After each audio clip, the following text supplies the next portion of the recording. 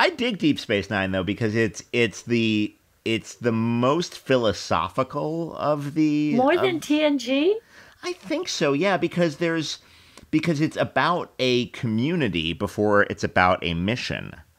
Well, it was a little, it was darker. I do Yeah. remember that. I remember, um, you know, the set was dark.